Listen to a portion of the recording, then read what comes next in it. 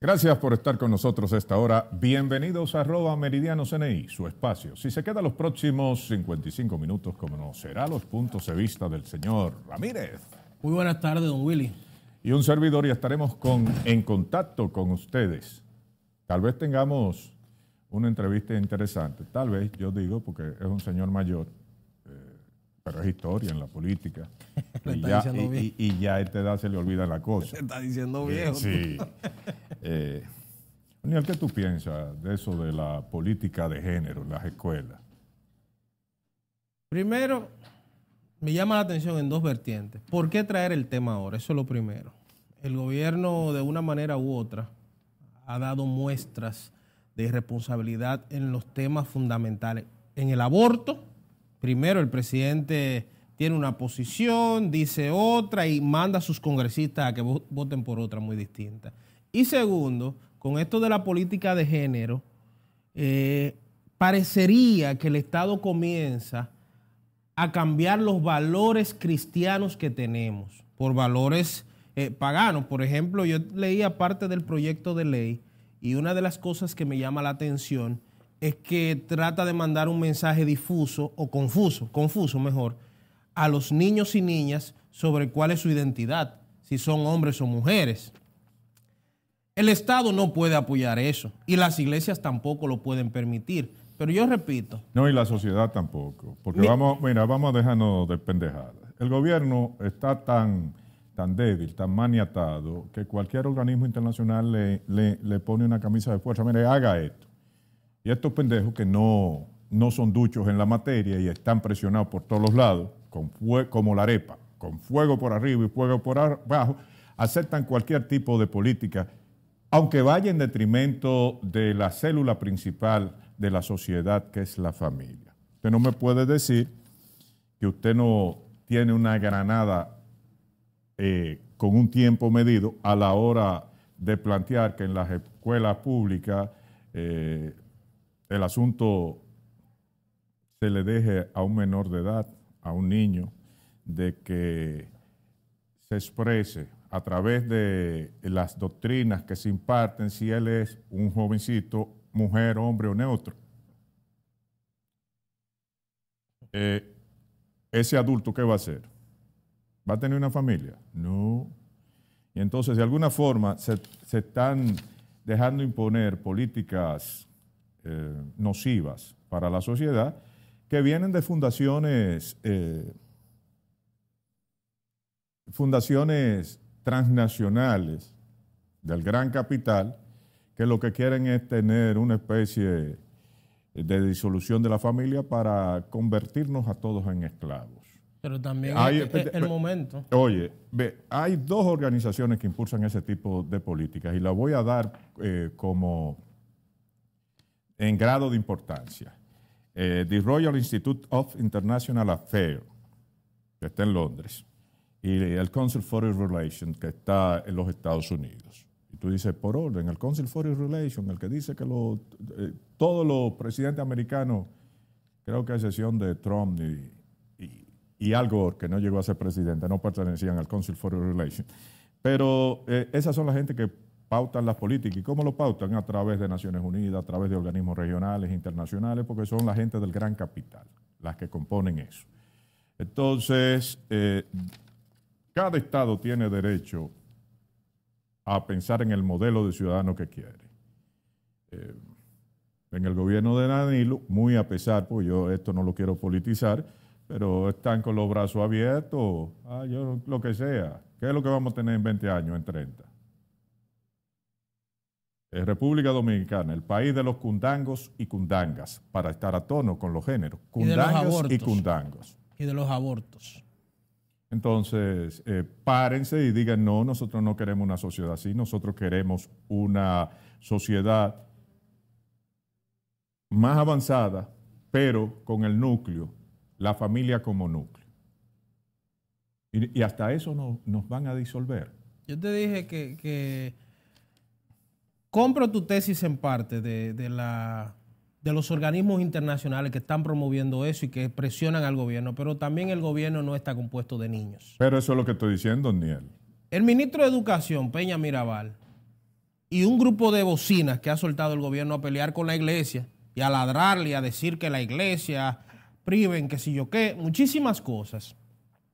Y yo digo, el gobierno ahora mismo, ante la situación del poco avance de su reforma constitucional y el rechazo total de la población al gobierno de Danilo Medina, se agarra de cualquier clavo caliente. Y si ese clavo caliente significa venderle a la sociedad que ahora los hombres son iguales que las mujeres y que hay un sexo neutro y que los homosexuales nacen, eso lo van a hacer y se van a agarrar de ese clavo caliente. ¿Ustedes creen que en medio de la crisis que vive este gobierno, ellos le conviene, y analícelo en tema sí mismo, en tema de conveniencia, pelear con las iglesias católicas y evangélicas y adventistas? Yo pienso que no, eso no es de inteligente. Ahora, ¿qué si quiere el gobierno? Que el tema de la corrupción se deje de hablar y que ahora todos empecemos a hablar de hombres, mujeres, niños. No, de, y de la violación constitucional. Y de Punta Catalina. A propósito, hoy, eh, the Brussels International Center for Research and Human Rights, o sea, el Centro Internacional inglés, de, ¿eh? de Bruselas, está profundamente preocupado por los intentos reeleccionistas de Danilo Medina y sus amigos. Cállense eh, ¿Qué ve el Centro Internacional de Bruselas? Que la economía se va a devastar y ya ahí están las cosas, porque parece que estos tipos no están pendientes a lo que tienen que hacer y entonces resuelven todo con un préstamo internacional, que la agitación social va a subir y que la polarización política eh, se va a acentuar. Nosotros tenemos un corte de Víctor Masalles, obispo de la diócesis de, de Peravia. Lo tenemos ahí. Em, eh, vamos a ver si escuchamos qué dice Víctor Masaya acerca de la cacareada reelección. Señores, yo lo dije ya antes, el pueblo está harto de eso. Tenemos ya en, esto de, de proselitismo, tenemos de hace un año y pico ya tenemos hace un año y pico esperando que el presidente dice que si va, que si no va. ¿En qué, ¿En qué estamos nosotros? ¿Por qué no tenemos reglas claras ya? ¿Por qué siempre queremos cambiar las reglas? ¿Por qué siempre queremos hacer que las cosas sean conforme a lo que nos conviene en ese momento? En Estados Unidos y en los demás países que están organizados, las reglas están claras. Y las cosas se van haciendo, se van cumpliendo, más nada. Y el que no puede, las reglas no lo permiten, pues no lo hace. Pero no, nosotros tenemos nos conviene un sistema débil de reglas para que cuando nos conviene romperla, la rompemos. Por eso, ¿qué yo pienso de esto? Lo mismo de siempre. El intento de reelección ha sido algo viejo. Y por desgracia, hasta que no haya reglas, lo seguirá haciendo. Porque a lo que... Bueno, hay reglas, lo que no la cumplen las reglas. Pero esas eran las expresiones de Víctor Masalles. Tú mencionaste ahorita las bocinas. Que hay muchas y bien pagadas. Bien, hay muchas bocinas, sí. Y, y bocina pública, escondida, chiquita, grande, brutas, inteligente, como usted la quiera. Eh, bocinas al por mayor y detalle. En México se da un caso interesante y es que un medio informativo da el top 10 de las bocinas, es decir, las 10 bocinas más caras del gobierno de Peña Nieto y anteriores. Lo revela con apoyo de López Obrador, quien eh, no le cubre, parece, la espalda a nadie. Vamos a ver si tenemos el corte para edificarlos ustedes. los beneficiados.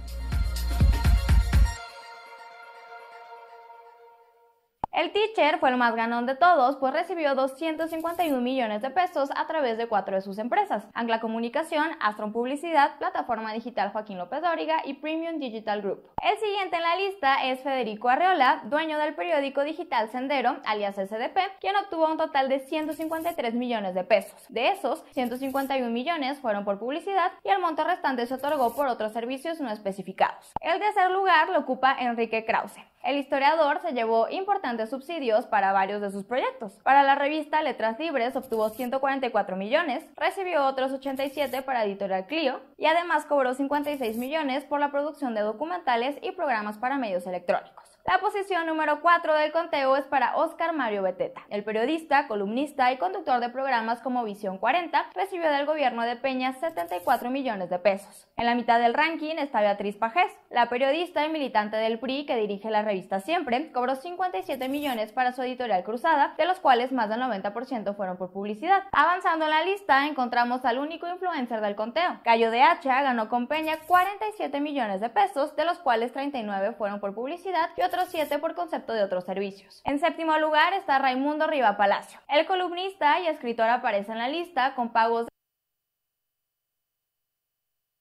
de 31 millones de pesos para la compañía estrictamente digital. Sin embargo, según explicó, no es una empresa solamente suya, sino una sociedad de 22 miembros de la que resulta el representante. El siguiente puesto es para Ricardo Alemán, a quien probablemente no le dolió mucho su despido de Televisa, al menos no en sus finanzas, pues el gobierno de Peña recibió un fondo de 25 millones de pesos. El noveno lugar lo ocupa de la Micha, la ex entrevistadora de Televisa recibió en los últimos 6 años 24 millones, y Luis Soto, periodista del Heraldo de México, se lleva el último lugar del top 10 con la módica cantidad de 23 millones de pesos. Además, en la lista difundida por el diario Reforma, Se acabó ahí. Eh, eso es México. No tan ab- abultada como la de aquí. Esas son las bocinas mexicanas. Las bocinas de aquí. Si tú hicieras un top 10 de las bocinas dominicanas, ¿a cuál- el número uno, ¿cuál tú cogerías?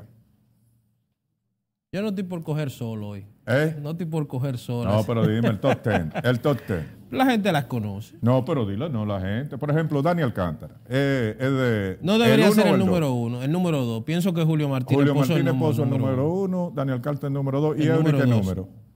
No, porque Eury es un loquito que lo tiene. No, pero ponlo número 3 porque ha guisado bien. Eh, número 4, Oscar Medina. Oscar Medina. Que le fue, le ha ido súper bien. Tengo un consejo por ahí, por eso es que habla con tanta autoridad. Eh, y esos son 4. Sí. Faltan 6. Oh, Julito es así. el número. ¿Qué? Espérate, pero en términos de importancia, yo creo que es el número uno porque se le dieron hasta un canal. Ah, bueno. Le regalaron un Sí, canal. Sí, es verdad. Ah, pero hay 5 ahí. ¿Y número 6 quién sería? Número 6. Sandoval, ¿en qué número está? El viejito que está con Dani en hoy mismo. Él es- yo creo que él es como el número 10 porque es que está muy lejos. Sí. ¿Y entonces número 6 quién es? El número 6. Hay una, una viejita que vocea mucho en la tarde. ¿Cómo que se Vulgar? ¿verdad? Sí, sí. ¿Cómo que se llama? Parece un travesti. Ah, Ya, no sé diga nombre. es. El número 7, El número 7, el número 7 de las bocinas. Es que son tantas bocinas que usted no sabe en qué lugar ponerlas. Víctor Gómez Casanova. No, porque ese ahora es funcionario. Pero también eh, tiene un programa por ahí. Ah, pues vamos a ponerlo como número 7 entonces. ¿Y el número 8 entonces? ¿Quién? El número 8, hay uno que Coño, ¿y tú escribe tienes miedo? en el, en el listín diario. Yo, miedo. En el listín diario, un gordito que escribe tweet también. Orlando Gil. Ah, sí. Ese está, ese está guisando bien. Una buena bocina. ¿Y número 9? Número 9, el top 10. A ver. He olvidado el número 9. Ah, Pero con tanto, es que son tantos, ¿verdad? Sí. Hay mucho en todos los José sitios. Lalu. Y número 10, Pablo Maquini. Número 11, ¿cómo se llama el otro? Sandoval. Sandoval. No, pero entonces faltaría. No, pero hay 11. Ah, ah, ah, son a diestra y siniestra. Esos son los más notables porque hay otros que ni saben leer ni escribir y están ahí. Están ahí. Eh, voto electrónico. Antes de pasar con nuestra entrevista, Orniel. El voto electrónico, si usted quiere hacer una marrullería, ganarse unos cuartos comprando unos equipos para después montar un circo, llámele voto electrónico. Nosotros tenemos un cortito para edificar a los televidentes de arroba meridiano CNI. Veamos. dat eigenlijk, frauderen met een stemcomputer? Alles wat je nodig hebt is een schroevendraaier en twee chips. Op deze chip staat de software waarmee je kan frauderen. Het verwisselen van de chips kost nog geen 5 minuten. Kwaadaardige software zit erin en de computer doet precies wat jij wil. Het is toch wel even schrikken als je, je realiseert hoe hoe makkelijk het in de praktijk inderdaad kan. Ehm, dat is niet best natuurlijk. De chips zijn verwisseld en de verkiezingsfraude kan beginnen. Ik ga nu stemmen op alle partijen behalve de frauderende partij 2006. Dus ik ga nu één stem uitbrengen op het CDA. Zo, die is klaar. Ik ga nu één stem uitbrengen op de VVD. één stem op GroenLinks. één stem op de Partij van de Arbeid. De officiële verkiezingsuitslag staat op dit printje.